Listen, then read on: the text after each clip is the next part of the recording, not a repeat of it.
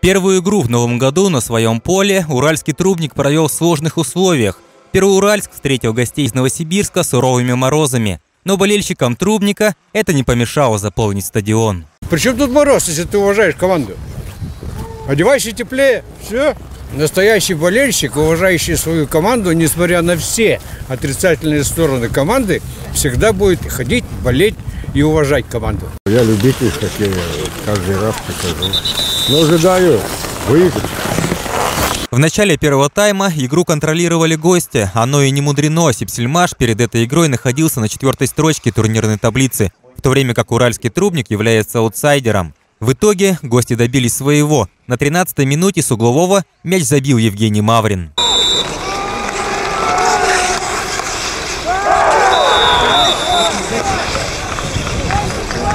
Поддержать любимую команду из Новосибирска в Пероуральск приехало и несколько болельщиков Сипсельмаша, а это, между прочим, сутки езды на поезде. Волнуюсь честно, волнение трясет, и трясет от мороза, и от того, что вот э, события на поле происходят.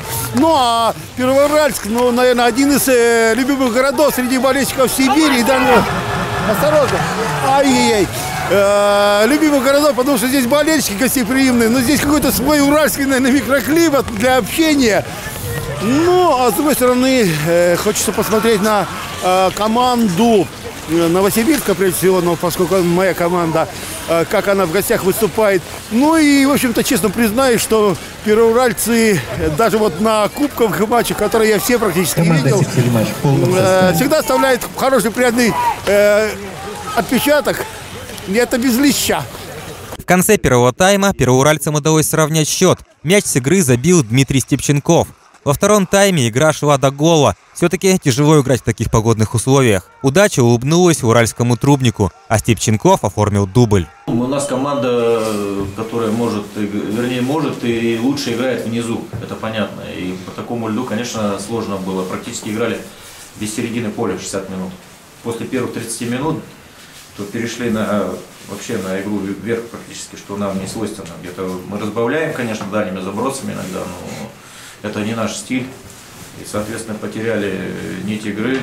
И, соответственно, и не видно тех игроков, созидателей, которые могут это сделать, там, обыграть, отдать пас, реализовать момент. Но с реализацией у нас и так проблемы как бы большие всегда были.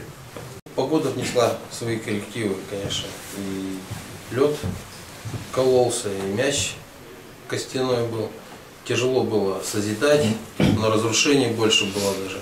Акцент сделан.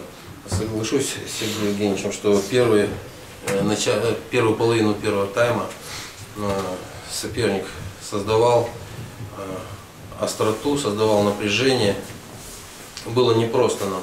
Но потом немножко игра выровнялась. У нас стали моменты возникать. Не доиграли. Ну, первый тайм 1-1 счет. А второй тайм получилась такая игра, что на нервах до гола.